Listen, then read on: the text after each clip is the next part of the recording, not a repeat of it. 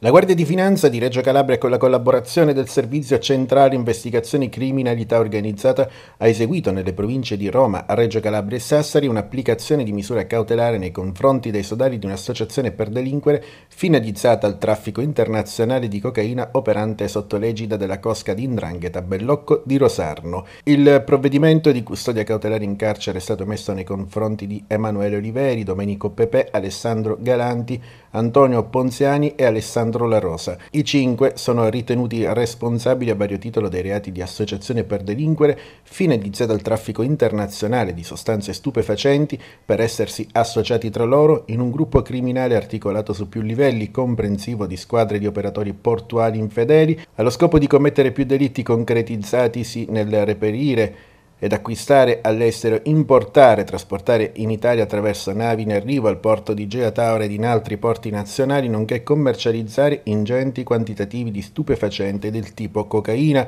con l'aggravante della transnazionalità e dell'aver commesso i fatti al fine di agevolare l'attività della cosca di Indrangheta Bellocco operante a Rosarno e nelle zone limitrofe in altre zone d'Italia e all'estero. La droga arrivava nel porto di Gea Tauro dal Sud America e dal Nord Europa. Nell'ambito della stessa operazione sono stati complessivamente sottoposti a sequestro 527 panetti di cocaina purissima per un peso complessivo di quasi 600 kg e sono state ricostruite ulteriori importazioni di stupefacenti per altri 312 kg sempre di cocaina.